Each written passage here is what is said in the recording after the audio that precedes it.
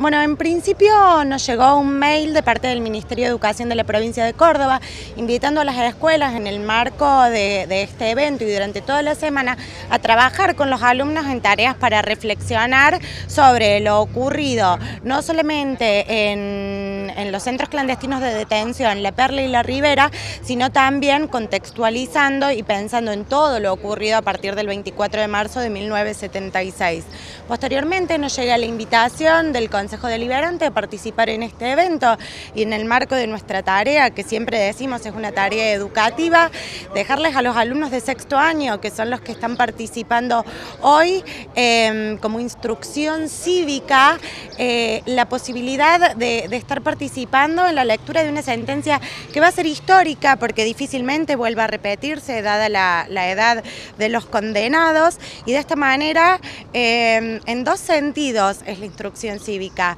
valorar la democracia. Es una generación de alumnos que ha nacido con todas sus libertades dadas. También consideramos importante participar en este momento porque no solamente están leyendo historia, no solamente están hablando de historia, sino que creemos que están viviendo la historia, están siendo partícipes de un momento muy importante y eso a ellos les da otra connotación, otro valor y los ha entusiasmado muchísimo muchísimo participar.